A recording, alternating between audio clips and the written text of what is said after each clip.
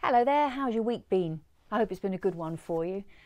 Had a bit of a, an exciting week, really. In fact, first time ever for me, I cut my own hair. What do you think?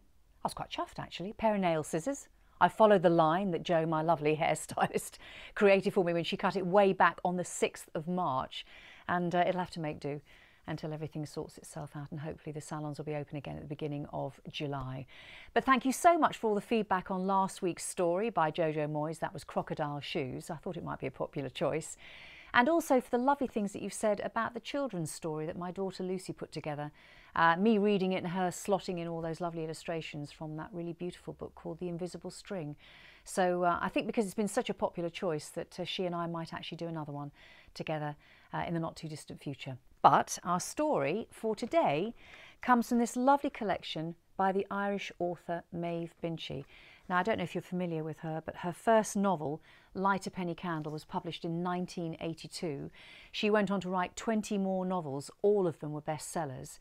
But this is a really beautiful collection called A Few of the Girls. And uh, it's the stories that she wrote that were published in magazines and in the Irish Times before she ever wrote a book. So uh, I think they were published after her death in 2012. But I very much hope that you'll enjoy the one I've chosen for you today, which is called Sandra's Suitcase. So if you're sitting comfortably, I shall put my spectacles on and away we go. Everyone said that Sandra was mad.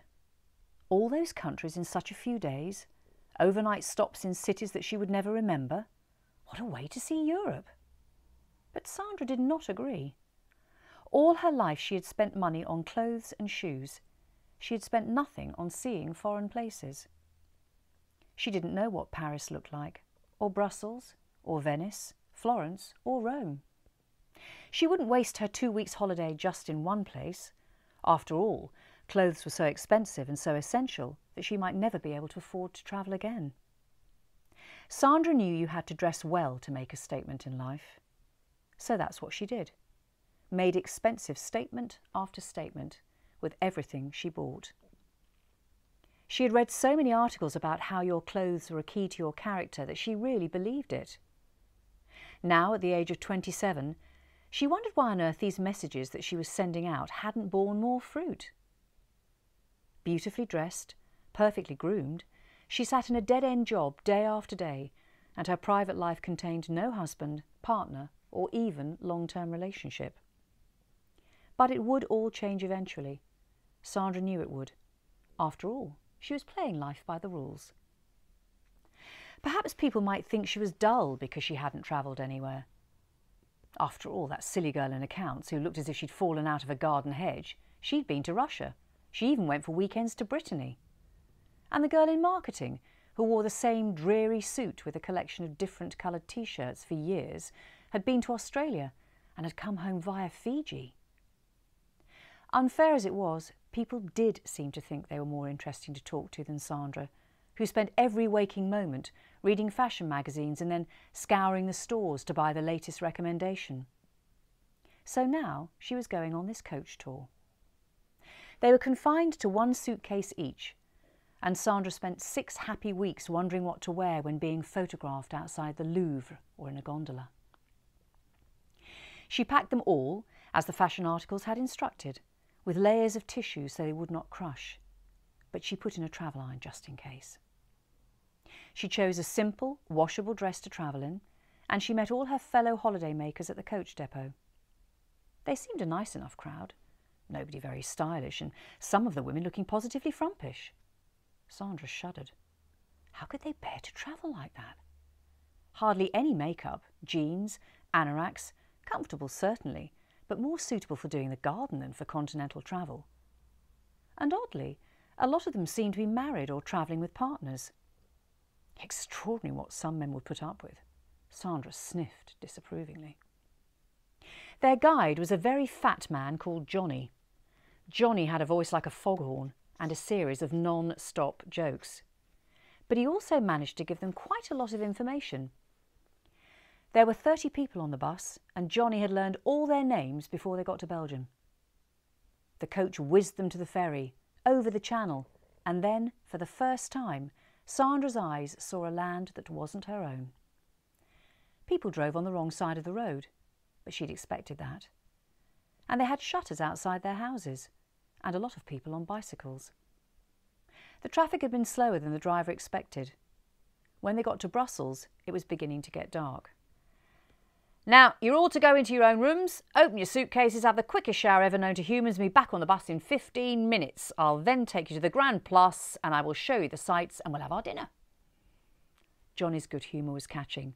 The group was already looking forward to the night out. They all pulled their suitcases from the row of bags waiting outside the hotel. All except Sandra. Her bag wasn't there. She knew it had to be at the back of the bus somewhere. So she waited and waited. And then Johnny told her what she could not accept. Her bag was in London. But when will they send it? Will it be here tomorrow morning? Sandra was white with anxiety. They can't find it, Johnny said glumly. There'll be compensation, of course, but I'm very sorry. He was unprepared for the sense of tragedy in Sandra's face. My life is over, she said simply. My first and only trip abroad. I brought everything to be photographed in so that I would always remember it, and now your company has lost everything I love. Oh, nonsense, Sandra, you'll go abroad lots, and if you can't find it, then you'll get the money to buy new gear. But what will I do for this trip? She wept. Leave it to me, said Johnny. In the foyer, before they headed out for the Grand Place, he called a crisis meeting. Small problem, he said cheerfully. Now, I want 29 of you here to donate one item each to poor Sandra, whose case has gone missing. As Sandra looked on, stricken, she heard the offers coming through. Generous, well meaning women offering her used t shirts, a sweater, a pair of pants, sandals, a half size too big, nighties, jeans, and shorts. And from the men, short sleeve shirts, a baseball cap, another sweater, and an anorak four sizes too large. Ashen faced, Sandra tried to thank them for their kindness as they all returned to their rooms and brought the terrifying collection, laying them proudly on Sandra's bed. She washed the dress that she was wearing, hoping it would be dry in the morning, and put on a disgusting looking green and white shirt with a crushed pair of jeans and a hooded anorak. Glumly, she went out to the big square in the centre of Brussels and only half listened as Johnny told them all about the buildings and led them to an inexpensive restaurant in a small street nearby. For tonight, Sandra had planned to wear a sleeveless cream coloured shirt with a rose skirt. A cream and rose coloured jacket would be on her shoulders for the photograph. Instead, she was pictured looking like a freak with 30 people in a group photograph. Next morning, as the coach thundered on to Paris, a quiet man said to her, That's my sweater you've got on. Looks much better on you than on me. Normally, she would have told him that she didn't wear any synthetic materials and that unless something was pure wool, it was unwise to wear it at all. She might even have said that she didn't like that dull grey blue colour and that she wanted something smarter that brought out the best in her complexion. But she said nothing. And he said that the colour of his sweater was exactly the colour of her eyes. His name was Ken, and he'd never taken a coach tour either. He worked too hard, and for his 30th birthday, 30 of his friends had bought him this trip as a gift. Sandra was wearing this terrible, shapeless, colourless garment in front of the Eiffel Tower. The day they went to Geneva, she wore the faded jeans of a woman called Lola, who'd taken a course at the Open University and discovered that actually she was very interested in the history of modern art. Now she worked in a local gallery and was considered a sort of expert. She'd married the gallery owner who was minding the shop while she darted around Europe on a coach having a quick look at everything she could see in 11 days. The day they got to Milan, Sandra was wearing a bright orange t-shirt, Lola's jeans, which were actually quite comfortable, and she had Ken's sweater tied around her shoulders. It's still the colour of your eyes, he said. And he asked Johnny the guide to take a picture of them, arm in arm. I hope the t-shirt isn't the colour of my face, Sandra said, and everyone laughed. She was surprised. She hadn't really ever made a joke before. In Florence, Sandra got up early and went to the Uffizi Gallery with Lola. They stood, staggered by the beauty of the paintings. But I thought you only liked modern art, Sandra said to Lola. We can all like everything beautiful, Lola said. Isn't it wonderful that there's so much for us all to see? In Venice, Sandra wished that she and Ken could have taken a gondola together. They might have, but foolishly she had said it would be a waste of money, and she preferred to spend her lira on shoes. She would remember to keep her mouth closed about such things in future. That evening, in a crushed lilac skirt and a shrunken yellow jumper, as she strolled around the beautiful streets of Florence hand in hand with Ken, Sandra said how much she was enjoying it all. Such great people, such deep, satisfying things to see. I'd love to know all about these Renaissance painters, she admitted. Like what kind of lives they lived and were they special in themselves? It's all such a mystery. Maybe we could do a course when we get back to London. That is, if you, you feel like meeting me again, Ken said. And Sandra thought it would be a great idea.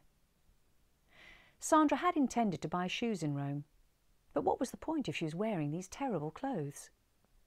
Instead, she invited Ken to come out on an early evening tour, just the two of them, in a horse and carriage. She could have got really good shoes for the money, but she had plenty of shoes at home. That night, the group all went to supper in a beautiful piazza, all of them talking like old friends about the marvellous things seen and those still to come. Johnny wasn't with them. He'd had to stay in the hotel because he was expecting a message. He was such a good tour leader that they were all deciding already what they would buy him as a gift. Some were saying they should get him a briefcase, one of those lovely soft leather cases. Others said a really expensive Italian silk tie. Ken thought he might like one of those embroidered waistcoats. He'd heard him admiring them. They were fiendishly expensive, but between 30 of them it would be easy to buy. Sandra was about to open her mouth and say that for someone like Johnny to wear one of those elegant waistcoats would be ridiculous. But she kept it closed. She was becoming less and less sure of things on this trip. The waistcoat would make Johnny look enormous, but then, if Ken had said that he admired them... She handed over her contribution willingly, and they all went silent because Johnny appeared with a message in his hand. I have wonderful news for you, Sandra. They've located your bag of all your smart clothes. It'll be there to greet you when you get home. He looked at her, waiting for the delight in her eyes. Instead, he saw gratitude and he heard polite remarks. This was the woman who'd bitten his head off nine days ago and said that our holiday was ruined. I'll be able to wash and iron all your kind gifts to me, she said to the group, and then I'll send them all back to you. They told her she must keep them. It would be their privilege. Sandra remembered the fun she'd had in these jeans and that t-shirt, how well and easily she slept in that nightie. She remembered the lilac skirt and the shrunken jumper she'd worn when Ken had said he would like to see her in London. I'd love to keep them all. And I'll never forget you, she said.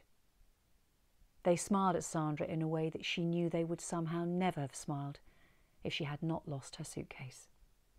The end. Hope you enjoyed that one. And I shall look forward to your company next Saturday. And any suggestions, if there are any authors you might like to, uh, to hear stories from, or um, perhaps, you know, children's story we're talking about, maybe doing that, then uh, do send that over to me. But in the meantime, have a great bank holiday weekend. Look after yourself. Stay safe, stay well, and stay in touch. And I'll see you soon.